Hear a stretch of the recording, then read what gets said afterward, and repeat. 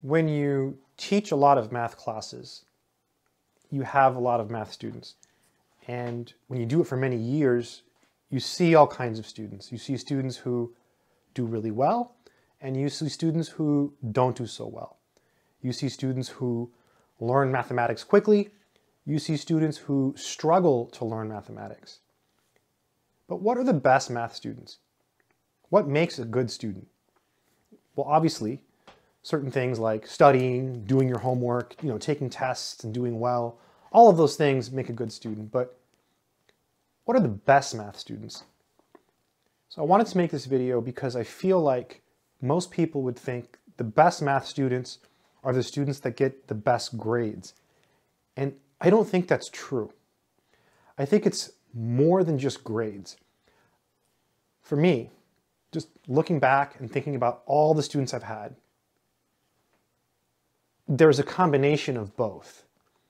If I take the top 10 students that I've had in my years of teaching experience, in that group, you're going to get students who did really well and scored hundreds, and you're also going to get some students who got B's and C's and struggled.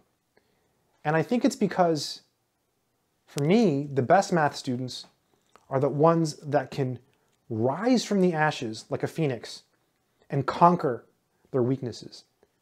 There are a lot of people out there, and maybe you're one of these people, who it takes them extra time to learn math. It does. It does take some people more effort. I mean, some people can learn math a lot easier than other people. I feel like most people are average. There's a few people who are above average, and then there's a few people who are below average. And there's some people that really, really struggle. It's those people, oftentimes, that I think I look up to because those people have to work extra hard to get the same results that maybe someone who picks up the math quickly doesn't have to do. And I think that's admirable. I think that's something that human beings look up to. There's this old movie, uh, I think it's from like the 80s or the 90s. It's called Rudy. It's about a football player well, a, guy who wants to be a football player. He wants to play football for Notre Dame. And he's really small. And he's always like, put me in, coach, put me in, coach. And the other players are always knocking him around. He's got a bloody nose. He's always getting beaten down by these big dudes. And he's really, really small. And he just keeps coming back in there and getting knocked down. And when he gets knocked down, he gets up again and he keeps pushing, keeps trying. He never gives up. To me, those students who never give up, those students who face adversity with like an unbreakable will, those are the best students in my opinion. Those, those are the best students. And looking back, again, if I, if I pick the top 10 students I've had, what they all have in common is that desire to learn and that work ethic. I think that is more important than anything.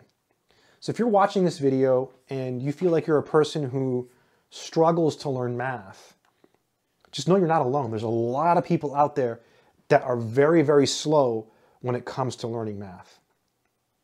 But they can persevere. I have seen people who, I mean, it takes them forever, forever to do a very, very basic math problem. I can show them the same problem five times and I can have them do it and they still won't be able to do it. Then I'll have to show them five more times, like five more examples, and then they can finally do it. So it'll take like 10 examples just to get the point across. Now, this is a very, very small percentage of the population, right? But these people, I've had students like this that can, that can just rise above and learn. So I guess the point I'm trying to make is, for me, the best students are the ones that work hard. So yeah, keep working hard, keep doing mathematics.